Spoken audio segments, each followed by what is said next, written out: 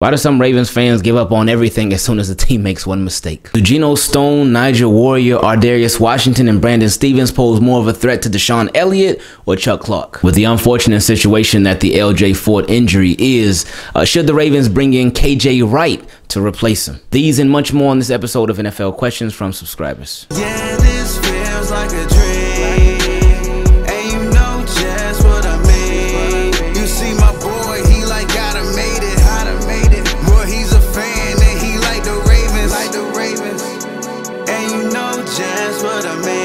YouTube team, keep it clean. What's going on? It's Ingraven here with another video and another episode of NFL Questions from Subs, a series where you can ask me any question you want to, and we answer it in a video just like this. If you want to be part of it, you can send me an email to teamkeepitclean at gmail.com, or for the patrons, the patrons, you can send it directly on Patreon. Anybody that's thinking about becoming a patron, wants to know how to become a patron, wants to know how to leave being a patron, you can go to patreon.com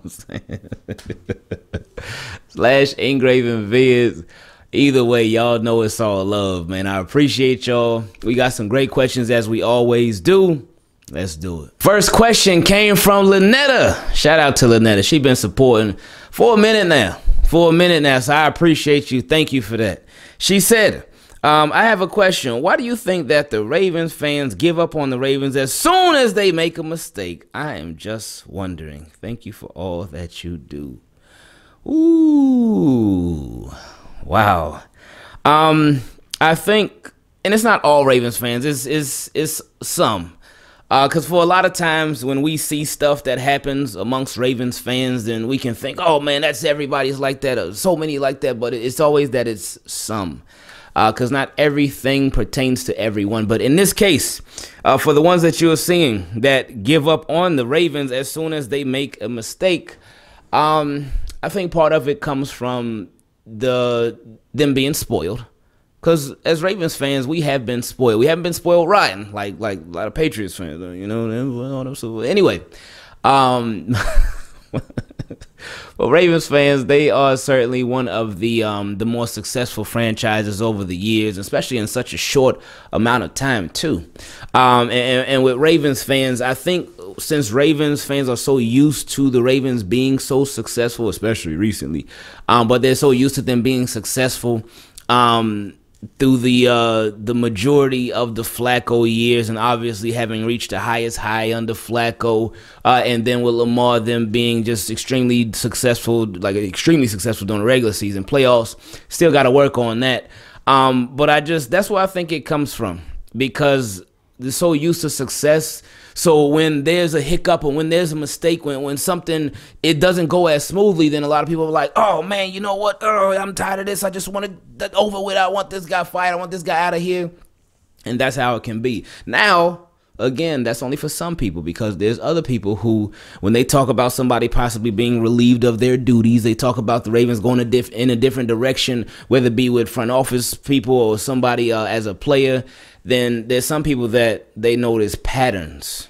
They notice patterns and it's things that they don't want to continue uh, to repeat themselves.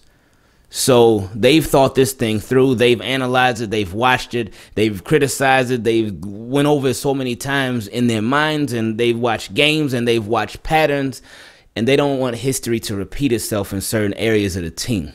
But as far as the ones that you were referring to, yeah, I think it's from just being spoiled. Next question came from my boy Jamari J. He said, Hey, Ingraven, if Queen continues to play well, do we move the green dot back to the linebackers?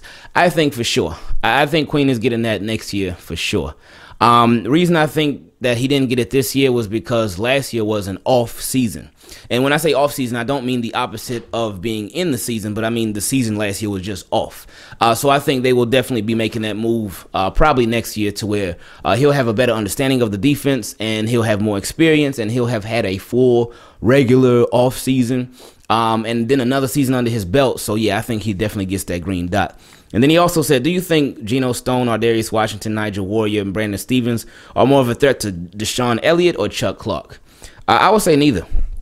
I would say neither, uh, because DeShon Elliott and Chuck Clark, their jobs are not on the line or anything like that. It's not like they're barely hanging on to being starters, anything like that. And they have far more experience than all of those guys, all of them. Um, so they're the clear cut starters. So no, these guys don't pose a threat to any one of them. Now, if we talking next year, next year things could change quite a bit. DeShon Elliott, he's in the last year of his deal. For Chuck Clark, I forget where he is on his deal. Either he has one or two years left. I Oh, mm, I want to say I, I want to say one, but I'm not 100% sure, so I can't say. But either way, next year things could change. So we don't know if DeShon Elliott is going to stay or go.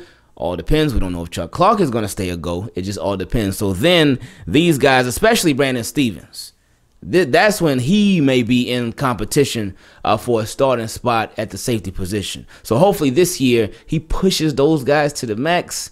And then next year, whether DeShon Elliott stays or leaves, or Chuck Clark stays or leaves, whatever happens at the safety position, hopefully Brandon Stephens he makes it really hard on everybody. Next question came from my boy Lord Velli. He said, What to do, Brody? It's your boy, Velli. Haven't come through in a while, but man, I'm happy for your success for real. I've been faithfully watching since January 2020 before the playoffs and loving it. Hey, appreciate that. Appreciate you rocking with us and sticking it out, man. Uh, he said, I grabbed Madden last night on the Xbox One and it feels the same as usual. Can't wait to play on next gen and get all the new extra features. Immediately, I started a franchise mode with the 75 man roster because I've never been so excited and thrilled about 25 extra players I know aren't going to make the team. Uh, but I feel you. With Intel every day, uh, I've grown to appreciate our preseason roster for the simple fact that every player is going to be going all out because they want to be attached to the legend of Lamar's Super Bowl team. Uh, and I have never, ever seen this before or really even noticed it in NFL media. The only thing I hate about Madden is none of the rookies' faces are on the players. All right, shout out to Madden 22. Maybe with that first update, maybe, but we'll see. Anyway, he said, now to my question or release statement. I picked up four free agent offensive linemen, but when it came to making cuts, uh, there were about 10, and I was really up. I had to let go or send some people to the practice squad. I didn't do any trading or nothing like that, just a pure generic roster. And the fact that we have 10 solid corners, 10 front seven studs, it's almost like, man, do I shorten the offensive line and, and or do I shorten the wideout to keep a stacked defense just in case injury occurs? Uh, and just to be real with it, uh, or do I keep balanced numbers? You know, it's crazy. Do you believe that come cut day that the staff are really going to be scratching their heads in frustration of not letting go of so much talent or practice squad and players you know are going to be hot on the market and have great careers? Season's going to be fire. Hold on tight and keep it clean. Appreciate that, man. Um, yeah, I don't I don't envy them at all. They are gonna have to make some very very tough decisions. Um, to where they really assemble the best 53 man roster that they possibly can. And something to keep in mind too that just because it's the 53 man roster for week one, well, for week one, it doesn't mean that that's going to be the 53 man roster for week one because Ravens, they get tricky with it. They do some manipulating with it. They are very just, they've been doing this thing for a while too because they'll have some people make the roster and you'll be like, oh, I didn't think they were going to make it. And then that person may go on injury reserve. That person may be released. That person may be this or that. They, they, they, they work that roster, man.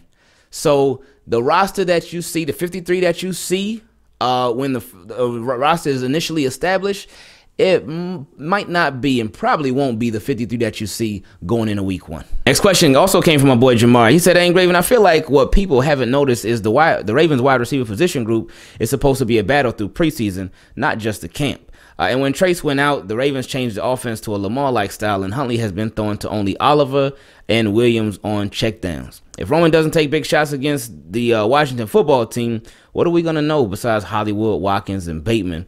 Uh, and Wallace and Duve, they've been pretty quiet in camp. Had a few catches from Trace and one from Huntley. Proche hasn't been trending unless in camp and before games.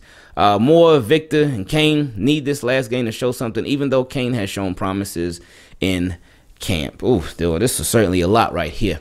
Um, yeah, with, with Duvernay and Proche, more so Proche, because Proche, he's been the talk of all offseason and training camp. And my guy, uh, Bio Larson, man, he, he made some great points and I was just like, wow, he took me back with some of them too. He said with the Ravens, something that he's always noticed is that there's always somebody where it's just it's all this hype surrounding this player in preseason. Everybody going crazy about him in training camp. They are the training camp hero, training camp warrior. That they just been killing it in training camp. But then when the game comes on, stuff gets real quiet. You don't hear anything from him. And with Proche, it could be because of lack of opportunities. Um, I've heard, I heard some people say, hey, one of the games he's getting open a lot, and I heard some people say in the other games he wasn't getting open at all. I've heard it all. Um, but there are those players every year. And then he also talked about it on the flip side. There's also some players that you don't really hear anything about. You don't hear anything about them. But then when the lights on, when, it, when it's game time, oh, they go crazy. Like McCrary, like Williams. So we'll see how this whole thing really uh, impacts the roster because um, it's going to be very, very tricky. Uh, with Tylan Wallace, um, it's going to be tricky with him because I'm not sure where he's going to be on the depth chart because he's got a lot uh, in front of him. Um, and as far as Watkins and, and Hollywood, with the deep shots, um, really just with the offense. We we we're not really going to be able to really see the Ravens offense until week 1 because that's when everybody should be back. Sammy Watkins, I don't even you know what and really before week 1 in this preseason game cuz I've been I don't know how the Ravens are going to play this preseason game cuz I was for sure thinking that Lamar is going to play in week uh last week against the Panthers, I was 100% sure, like, oh, yeah, ain't no doubt in my mind that he's going to play at least like two drives. Nope, nothing. Nothing. Um, so if he's going to play in the last preseason game, I don't know. I don't know how they're going to work this whole thing out, but we'll see. Uh, but we're not going to really get a glimpse of the full offense uh, in preseason. We're not. Um, so as far as the deep shots, I wouldn't really even be too concerned with that because remember, it has been Tyler Huntley playing, it's been Trace McSorley playing. It has not been Lamar, has not been Hollywood, it has not been Watkins, obviously hasn't been Bateman, but it hasn't been the regular guys that are that are gonna be out there. So the fact that they haven't taken many deep shots, I, I, I wouldn't really be overly concerned about it. And just with the whole offense period, I wouldn't be overly concerned about it. I would be a little bit concerned about it with the offensive line since more starters have been out there. But hey, check this out when you go from week one to week two, you see the improvements in the offensive line, especially in run blocking. They added another start out there uh, week two with Kevin Zeitler, and you saw all the holes that were getting created and whatnot. Offensive line, they just played better, so it's just going to take more time. Um, but I, I can't really overanalyze the Ravens offense right now uh, in preseason. Next question came from Yahoo. He said, What's up, Engraving and Team? Keep it clean. We're grateful to have you repping the Ravens like no other could. Uh, oh, appreciate it. I don't know if that's a good thing or a bad thing because like no other could, others could do much better, uh, and they do. But um, nah, I, I appreciate it, man. He said, "Do you notice that NFL Network never shows Ravens preseason games when they have quadruple games to show, uh, but no Ravens? Am I overreacting? I mean, it is what it is, man. It is what it is, and it ain't no big deal. Um, as long as you get to watch it, we get to watch it. That that's all that matters. Uh, and I mean, Ravens coming out the gate. I guess they don't want to over Raven it because Ravens coming out the gate. They got that first Monday night football game. Uh, and then the following week they got a Sunday night football game, and then uh, three weeks later they got a Monday night football game. Um, so yeah, people, whether they like it or not, they're gonna be seeing a lot of Ravens. This next question or questions will be a blended question. is gonna be the last episode on this episode of NFL questions from subscribers because it comes from my guy Augusto V, uh, Bullet Atrex, and Chris P from the West Wing. So. Um, first, we'll start off with Augusto. He said, Yo, Engraving, I hope you and your family are doing amazing and staying safe. Appreciate you. Thank you. And yes, we are. Thank you for that. He said, I got a question regarding LJ Fort's injury. We all know he's a good linebacker whose absence needs to be addressed in the form of adding a solid starter or backup. My question is, should the Ravens sign KJ Wright? He's a nice veteran free agent who could help the Ravens out for a year so the linebacker room can stay as good as possible. At this point, free agents have immensely dropped their market value, and KJ is not too old. He's 32. And even though he isn't the best, he's a really solid player who is there at the right place at the right time. Combined with his experience, I think he could help the linebacker room. And shout out to Team Keep It Clean. One love, y'all, and love you engraving. I'll send y'all a hug. Hey, we send you a hug right back. There, there you go, right there, man. But nah, I appreciate it, Augusto. So KJ Wright. That's been a popular name recently. Now, let's go to my guy Bullet Atrex question. He said, Hey, Ingraven, love the videos. Appreciate you. With LJ Fort unfortunately getting injured, we might need a veteran linebacker to be on the roster. What do you think about signing KJ Wright, former linebacker of the Seattle Seahawks? Um, so with KJ Wright, uh, I, I, this, like I said, this question obviously came up a little bit. Um, and yes, he is a uh, free agent right now. Why his name is not on the list of free agent linebackers, I'm not sure, but he's out there. Um, and that is a very interesting name. We know that he made plenty of plays for the Seahawks back in his day. Uh, I, don't, I, don't, mean to say back in his day like he's like some old man, old man, but he definitely did his thing, man. He he did his thing, and we wouldn't need him to come in. He ain't got to come in and be the KJ Wright of old. He ain't got to do. He would not have to do that. He wouldn't have to be this all pro linebacker or anything like that. No, but with his experience, he could help that room a lot and, and, bring a lot of what LJ Fort did. He wouldn't have to be the fastest. He wouldn't have to be the strongest, even though he had that look, that grown man, grown man strength since he's 32. But he would just have to come in and be a leader, uh, be a solid contributor, and just be somebody that will be ready. And he would be somebody that will provide that experience um, that a lot of our linebackers just don't have. And somebody that could come in in a bind, come in in a pinch and help out. So with uh, right, because right now our linebacking group is very, very young. I think Chris Board is the most experienced linebacker that we have because it's Chris Board, Kristian Welch, um, and obviously Patrick Queen and Malik Harrison. Uh, Otaro Alaka, I'm not sure what his status is. I know he's still hurt and he isn't practicing. He hasn't practiced in like forever. Uh, so we'll see what happens with him. But KJ Wright would be a move that I would not be mad at at all. Uh, would he have to start? Would, would that mean that Malik Harrison wouldn't be the start anymore? No, it wouldn't mean that. It doesn't have to mean that. But it would mean that you would have somebody, again, stay ready so you ain't got to get ready. Ravens were ready, but LJ Fort, unfortunately, he got hurt and now he's out for the year. So again, stay ready so you ain't got to get ready. You could bring in a veteran guy who got some great experience, and I, I, I think this would be a good move. Now, somebody else, somebody else who was suggested. Let's go to my guy Chris from the West Wing. His question, well, his part of this question he said, Mr. Ingraven, I'll keep it short this time. With the unfortunate injury to LJ Fort, do you think that EDC would immediately sign a free agent linebacker since that would grant him time to evaluate that signing against the current roster of linebackers? Or do you think that he will wait until the final roster cut down on August 31st and look for a roster cut casualty? Or will he do both? Ooh, that is a great question. Um, hmm.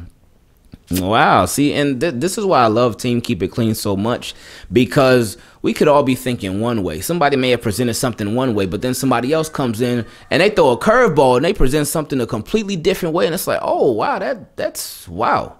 But I think that um I, I would think, and this is my thinking, obviously not in the brain of EDC, but I would think that they would want to get somebody if they're going to bring in somebody, which I think they will, because John Harbaugh gave that talk today uh, in his presser. Shout out to Carter laughing in the background. He watching uh, Teenage Mutant Ninja Turtles. But anyway, uh, in John Harbaugh's presser today, he was like, oh, and I'm recording this on uh, August 23rd. Uh, but he was like, oh, yeah, we're, we're, we're confident in our guys that we got.